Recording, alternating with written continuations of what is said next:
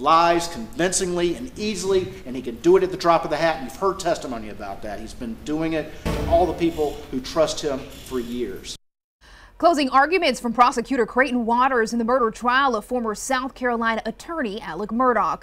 Waters told jurors yesterday that Murdaugh killed his wife and son back in 2021 because he was facing unbearable pressure from his financial schemes and decided that killing his family was the only way to keep everything from being revealed. Now, court resumes this morning at 9:30 and the defense is set to wrap up its case with its closing arguments. And joining me now is criminal defense attorney Taylor Bell. Now, Attorney Bell has been following this case very closely for the past few weeks. And my first question for you, and thank you for joining us this morning, um, has to do with how do you think Creighton Waters handled the closing arguments yesterday? I think he did a really good job. I was hesitant initially. I thought he might dwell on the financial crimes, mm-hmm. but he didn't. He he got to that point. Uh, he had his trilogy. He had the mo- the the me- means, opportunity, motive. Got to that trilogy. Kept hammering on that. He built this picture of this storm building, mm-hmm. and then Alex had you know just crashed down on him and he committed this act. And then at the end, mm. uh, he, he went to his or he went to his timeline and narrowed it down that it couldn't be anyone else but Alex, and these other possibilities out there are unreasonable. And then at the end, he got to the emotional side of the jury by empowering them to speak for Maggie and Paul. Mm-hmm. And so he hit everything that I think he needed to. Uh, I think he did a really good job. Was it a little long? Yes, but I think he did a good job.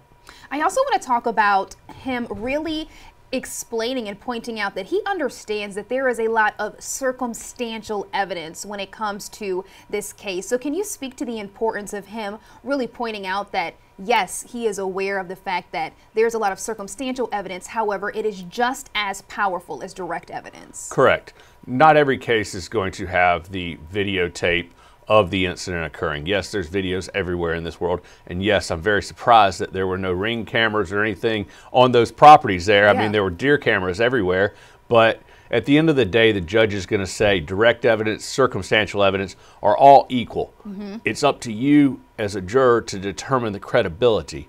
Uh, so I think that's powerful that he got that out. He acknowledged the weakness of, of the lack of some of the direct evidence, but empowered them on the fact that circumstantial evidence is just as uh, just as good as direct evidence. And I know this trial is the first time that many people at home have seen a case of this magnitude play out. And so I'm kind of going to have you give us a little court 101, if you will. Can you talk about the fact that a lot of times we see like movies and law and order and the closing argument is five or 10 minutes, but in reality, closing arguments actually are much longer. That's correct. They are. And it's because they want to hit the points that they've made of all the evidence. We had mm-hmm. six weeks of testimony here. So he's wanting to go through and tie them in. Let, let's let's make the make it weave weave the uh, the, the quilt with all the points that he made, so that the jury can go back there with that quilt and, and know exactly what it is, and, and know that you know he that evidence points to only one answer, and that's guilty. And so that's what he did here. While it was long, mm-hmm. uh, four hours, I, I, think I said yesterday you it would be four mm-hmm. hours. Mm-hmm. Uh, and, and I expected that because this is a lot of material to digest. And the jurors don't have notes here. So he wanted to make sure he got that all across. I think he did a good job. Yeah. Now, speaking to the quilt that Creighton Waters put together, we know the defense today is going to want to unravel that quilt. What do you think they're going to do? What do you think their strategy will be going into today? So it's that one little string that they're going to pull, mm-hmm. keep pulling it, and then it all unravels. I kind of like the idea of the brick wall. Uh, you've got multiple bricks up there that make a wall. You start poking a couple of the bricks out, the, the Jenga type analogy, you start pulling them out, and then it all collapses. Mm-hmm. And so I think that the defense didn't have any really one theory throughout the case. Uh, they they're dealt the case that you know they're given. They don't mm-hmm. get to create the circumstances or the facts. Uh, they get the case and they've got to work with that. And so here, I think they're going to go with the overall. All right, push that brick out. That that's a doubt. push that brick out. That's a doubt. And at the end of the day, the whole story collapses if you find that, that all the you know there's enough bricks knocked out. Yeah. So I think they're going to go with that. I think they're also going to go with the the idea that how could a father do that to his child?